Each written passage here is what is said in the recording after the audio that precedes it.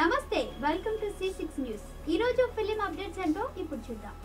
శృతి Haasan corona మొదటి wave సమయంలో విడుదలైన రవితేజ క్రాక్ మంచి విజయాన్ని సాధించింది. అందులో శృతి హాసన్ నటించింది. గోపీచంద్ మరినేని దర్శకత్వం వహించారు. ఆ సినిమా సక్సెస్ తర్వాత మెగాస్టార్ చిరంజీవితో భేటీ అయ్యారు గోపీచంద్ అయితే ఆ తర్వాత బాలకృష్ణను కూడా కలిశారు. ఆయనతో సినిమా చేయడానికి చర్చలు జరిగినట్లు అప్పట్లోనే తెలియజేశారు. ఇది ఇప్పటికీ వర్కౌట్ అయింది. నందమూరి బాలకృష్ణతో గోపీచంద్ సినిమా చేయబోతున్నాడు. ప్రస్తుతం బాలయ్య బాబు అఖండ సినిమాలో ఉన్నాడు. ఇంకా కొంత భాగం పూర్తి చేయాల్సి ఉంది. కాగా తాజా సమాచారం ప్రకారం బాలకృష్ణతో జోడీ కట్టడానికి శృతి హాసన్ను పరిశీలనలో ఉన్నట్లు చిత్ర యూనిట్ తెలియజేస్తుంది. మైత్రి మూవీస్ సంస్థ ఈ సినిమాను నిర్మిస్తోంది. సినిమాను లాంఛనంగా ఆరంభించారు కూడా. డాన్సీను బలుపు పండుగ చేసుకో వంటి సినిమాలతో దర్శకుడిగా మంచి గుర్తింపు తెచ్చుకున్న గోపీచంద్ బాలకృష్ణ ఇమేజ్కు సరిపోయేలా ఓ చరిత్రకారుని కథ ఆధారంగా ఈ సినిమా తెరకెక్కించబోతున్నారని తెలుస్తోంది. పల్నాటి ప్రాంతానికి చెందిన ఆ చరిత్రకారుని కథకి బాలయ్య తగిన న్యాయం చేస్తాడని అంటున్నారు. ఈ సినిమాలో ఫ్లాష్ బ్యాక్ ఎపిసోడ్ కీలకమైంది. అందుకు శృతి హాసన్ సరిపోతుందని అందుకే ఆమెను సంప్రదించినట్టు తెలుస్తోంది. కరోనా కరుణిస్తే జులై నుంచి ఈ సినిమా సెట్స్ మీదకు వెళ్ళనుంది వచ్చే ఏడాది సంక్రాంతికి విడుదల చేయాలన్నది దర్శక నిర్మాతల ప్లాన్.